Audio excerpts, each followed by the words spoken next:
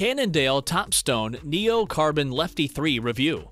Hey, this is Ryan from FitLab and welcome to our review of the Cannondale Topstone Neo Carbon Lefty 3.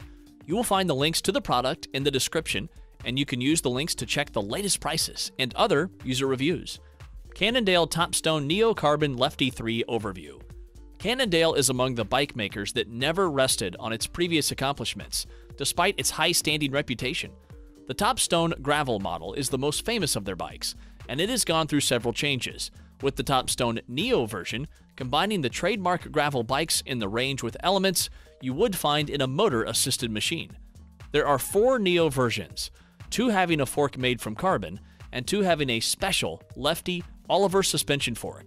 The Neo Carbon Lefty 3 is in the second group and is the entry level version of a full suspension bike.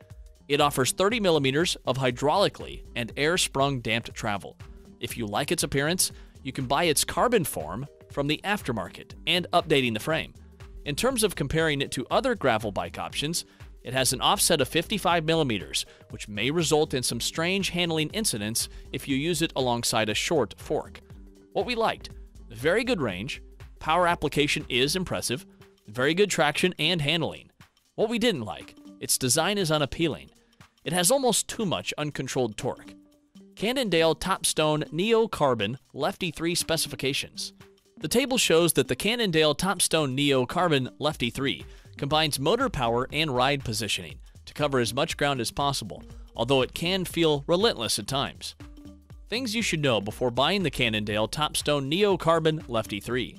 The design of the bike gives you similar levels of stiffness in a relatively lightweight package. However, it is not as user-friendly as you may want, as removing its wheel is quite difficult. Once you remove its wheel, it will not stand up as easily, although its lefty design allows for tube and tire fitting without removing and replacing the wheel. Cannondale Topstone Neo Carbon Lefty 3 features Fork and frame. The Lefty 3 is not the first e-road bike from the company. Its functionality is a conversion of the company's carbon frame to accommodate a battery and motor system without impacting the bike's performance negatively. However, its looks are not the prettiest, although this is a minor inconvenience to the good build of the machine. To keep movement as smooth as possible, the pivot adds sealed bearings. The carbon fiber frame uses a kingpin rear suspension design that gives it 30 millimeters of rear wheel movement without adding unnecessary weight typical of rear suspension systems. The result is a frame that flexes without breaking down or weakening, while specific points gives you controlled movement due to their carbon reinforcing, including the rear stays, top tube, and seat tube. Geometry. In terms of its geometry, the Lefty has a rake length of 55 millimeters, which ties to the out front geometry concept that pairs a long offset fork with a slacker head angle and results in a light steering feel. The bike is quite heavy though, and it is difficult to mount things for a long ride or when you want bike packing. Additionally, the frame has internal routing and is compatible with dropper seat posts, but it does not include a standard size one in its build. Motor. The use of full suspension makes the bike stand out instantly, and the addition of the Bosch Performance Line CX motor system makes it even more powerful.